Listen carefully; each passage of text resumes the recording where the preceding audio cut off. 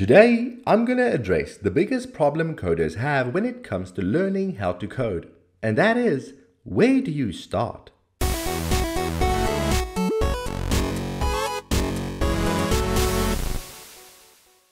Hey, welcome back to my channel. And before we end off this beautiful 2023 heading into the new year, I want to leave you with this banger of a video of information.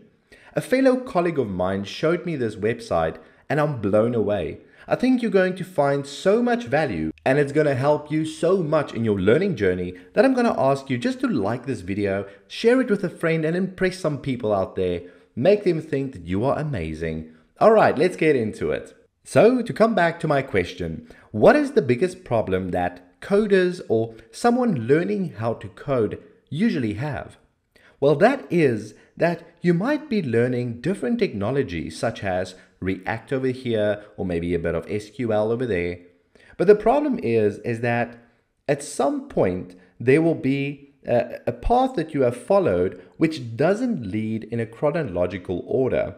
For example, if you learn about the HTTP protocol way after you are already making API requests, it might work, but you won't understand the fundamentals. And fundamentals are so important because it gives you that background, that knowledge to make other decisions on, such as when to debug, how to debug, how to write a piece of code, what architecture to use.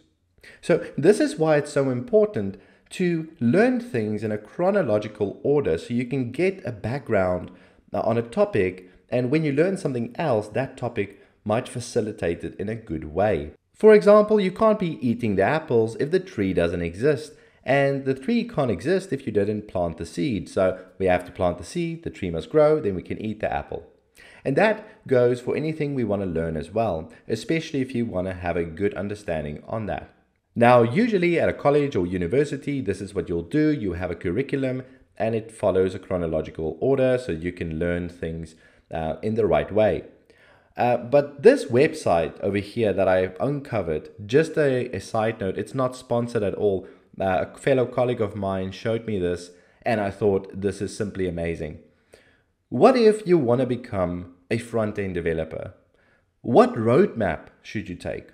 What fundamentals should you learn before the other? And this is exactly what this website's all about. So head over to roadmap.sh and it should look like this and then we're going to explore this website. So right off the bat, we can see here uh, with the role-based roadmaps, they have these beautiful uh, roles that you can go into, such as front-end development, back-end, DevOps, full stack, Android, the list goes on, and you can even create your own. I see that the website uh, also allows you to learn uh, on a skill-based roadmap as well, and then also teach you about best practices, but for now, for this video, we're going to look at the roadmaps of a front-end developer. So let's go ahead and click on that. And now you will see this complex looking like structure of a roadmap. If it is a bit too complex, there's also a link to a beginner version for the same roadmap, but just in a much more lighter sense with general topics, not going too uh, in depth. But I want to focus on the full uh, extensive Uh, a front-end developer roadmap. So here we go. As you can see, the website can also track your progress, so you can even go ahead and, you know, go and track what you have learned so far. And it starts off by understanding the internet. You know, what is HTTP? How does the internet work? Which are all topics that are so important for the basic understanding before you even learn HTML. After understanding HTML, you can go and prettify it with CSS. Then add some interactivity with JavaScript and learn some of these. And I think you get the gist of it. You go through this roadmap step by step, and each time you build up a foundation that is going to give you so much confidence in what you do in your field. As you can see, the roadmap goes on and on and on. But you can also contribute in some way, I believe, because as we can see, this is a community effort uh, which created these roadmaps. But before this, As a developer, yes, you could have learned at college, but there's always new meta frameworks out there.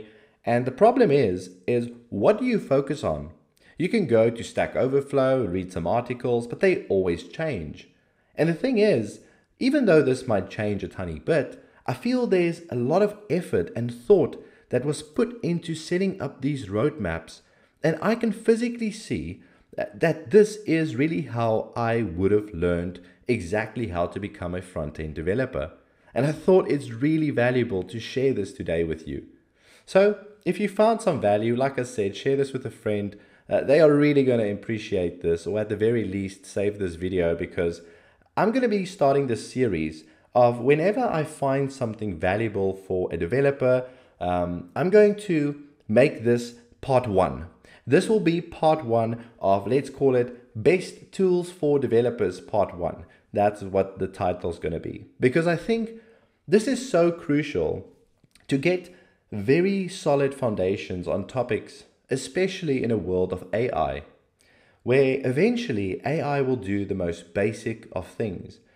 But in order for us to still compete as developers and, and for us to deliver value, we need to understand systems on a more basic level uh, so that we can fix them if they break.